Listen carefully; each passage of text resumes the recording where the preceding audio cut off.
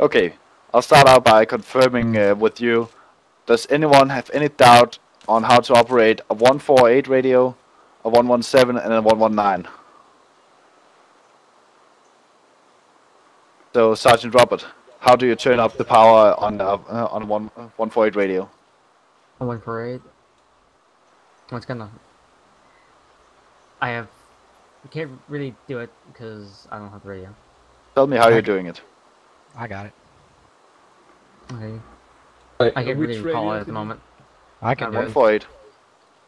148, you hit mode twice, set the power to 5000, hit enter. Exactly. I only do one one seven. Fi Pfeiffer, how do you turn up power on uh, 117? Uh, the 117, it's the, uh, you have to pre-program for each channel, I believe. Yes. I don't remember it off the top of my head exactly. It's like in 8 off the numpad, and then like enter, enter, and then you choose like the power slot, and you just turn up to 20,000. Exactly. Okay. And Rich, how do you turn up the power on the 119?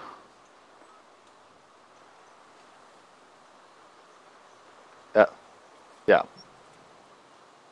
That's extremely fucking easy. You just click it until it says uh, HE for high, or HI for high.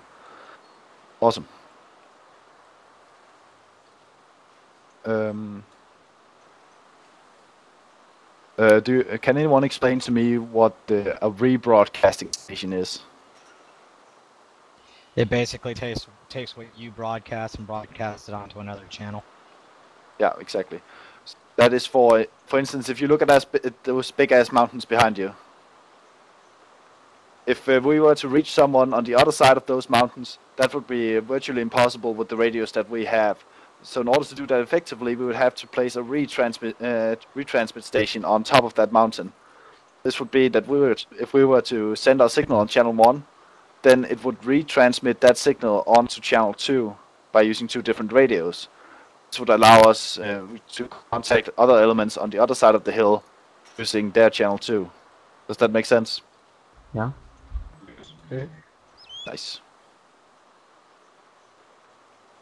No, you can set it uh, in any way you want technically, but uh, it doesn't make sense to do so.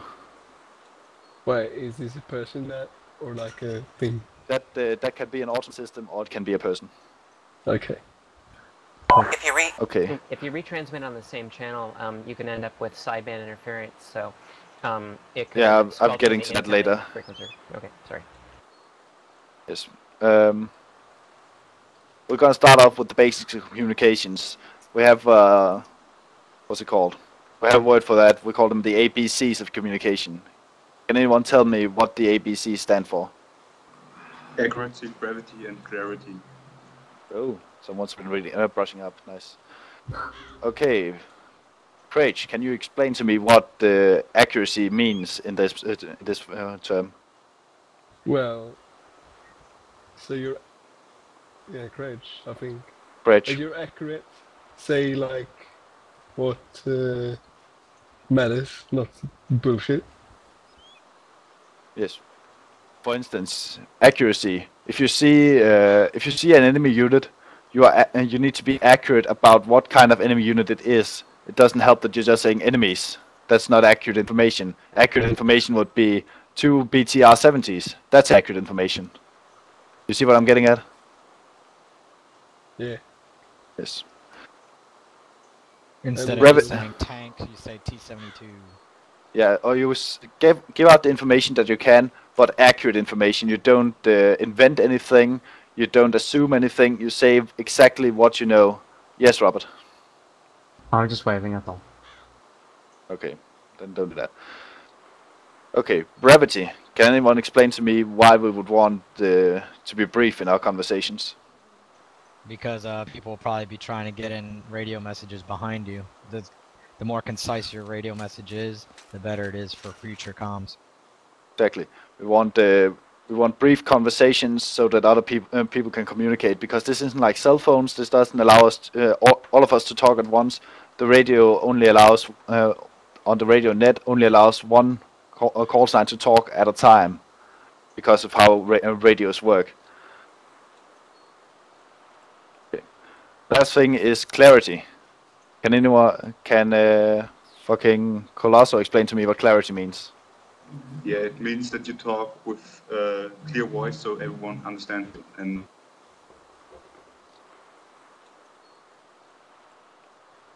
Yes, Red Lover.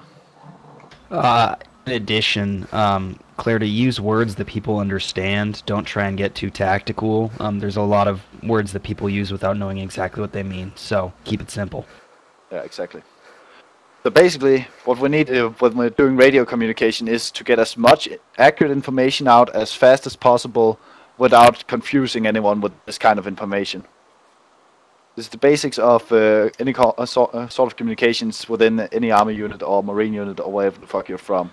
You need to be accurate in uh, accurate, brief, and clear when you're giving out the communication. This also relates to information filtering. What does that mean? Uh, fucking rich. Yes, exactly. When uh, if you tell the tell your uh, com- uh, commander that you're in contact with an enemy squad, then don't add if you saw another guy. Add if uh, it's getting supported by another squad now, but don't add the simple un- uh, uninteresting th- uh, things to the uh, to the information net because uh, it gives the leaders what's called helmet fire, and it basically means that they're getting so much information that their brain can't handle it, and they kind of shut down. I'm sure that some of you have actually had that happen before. Yes, Red Lover. Yeah, um, how many people here have uh, platoon led in a mission with more than three squads? Uh, I did have. he just cut out for you? Uh oh. I think the cutout bug got fixed, but um, or even squad lead. Squad leaders almost have it worse than platoon leaders do, in that um, they have radio chatter in their uh, short range and long range. So yeah, you want to keep your nets clear because as a platoon leader um, that you're going to be reporting up to, or as the platoon leader when you're playing as a PL, it can get really, really confusing trying to manage multiple nets with uh, different units transmitting lengthy messages. Exactly. Okay. Then we'll talk about um, some of the components of all radio transmissions. For a radio uh, transmission, you'll need a call sign. Um, Sonic, can you explain me uh, explain what a call sign means? It's uh, a name that uh, kind of simply defines what type of unit you are. Like uh, Hawk being, say, a helicopter. Yeah, it doesn't necessarily define the type of unit, but it defines uh, it defines your unit. So, for for instance, that you're in a, a mechanized infantry company and your call sign is Char- uh, Charlie Company, then that is your call sign. That's what the the entire company is called. They will respond to Charlie on the radio. Then uh, you can have uh, sub call signs. Can uh, fucking explain to me what that is? A sub call sign. So yeah, if, if uh, we're Charlie, then we might have Charlie One, Charlie Two, or uh, One One or One Two as uh, say uh, each of the fire teams or similar. Exactly. This is used to um, to make it. uh, Um, yeah, I know they can, and in Canada they mo- most definitely do, but uh, it doesn't necessarily have to be that way. But yeah.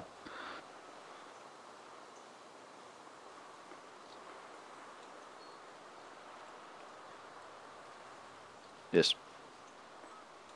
Did everyone see Red Lover's text there? hmm Yes. I know. I will use uh, Cedric's little example. Uh, he uh, in Canada they define the units by the f- uh, first letter. For instance, if some a, a unit starts out with Alpha, that means it's a uh, it's an armored call sign. So Alpha one two would be an armored call sign, first company, second platoon, for instance. Uh, they and they also use um, India for infantry. So in, uh, India two two. That's an uh, in, uh, infantry comp- uh, an infantry second company second platoon echo engineer oh wait alpha wasn't the uh, uh, the armor call sign that, that was tango for tank but Is it A Alpha But- for air? Can't remember. yeah they had all this kind of fucking retarded bullshit that they that uh, Canadians think are- uh, think is smart uh, I don't know if any other uh, country in the world does that, but uh, they find it pretty clever. Okay, so yeah, call signs can designate unit type, especially uh, agreed upon in, in advance. I think the Americans have a sort of system for that too. What uh, what you can call an armor unit and what you can call an armor, armor unit, and so on. I just pasted a link in channel that is the normal call signs used by the U.S. Thank you, Janus. Uh, yeah, that's a lot of. Uh, I think these are mostly aircraft. Let me see if I can find the other one.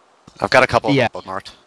Um, the one that Janus just posted um, has to do with call signs that people listening on the radio, so like ham radio operators, um, have identified for the airspace in uh, the United States.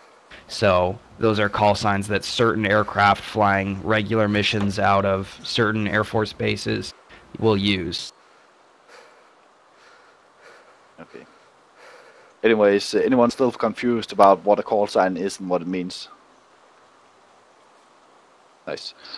God hand, you might just want to cover at least like five sixes and X-rays, just because those are really basic ones that I know at least me, weapon, and a couple other guys tend to use a lot. Yeah, fair enough. Um, let's say we have uh, our first platoon.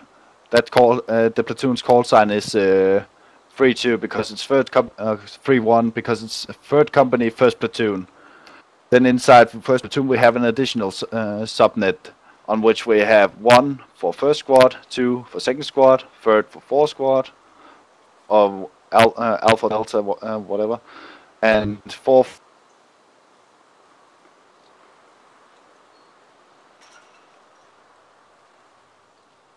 This also demonstrates um, not real. No, it doesn't really demonstrate chain of command. Yeah, uh, I just brought it up because last night I noticed some people got confused with me calling Jake 5 and other people calling me 6. They got slightly confused. So if you guys wonder why people call each other 5 or 6 without that call sign being called out in the command and signal, that usually means it's the 2IC or the actual, you know, leader. So, Godhand, um, if I may interject, uh, that task organization that you said is wrong. Um, the company, um, which we don't use in Arma nearly as much, um, will have call signs, so it'll.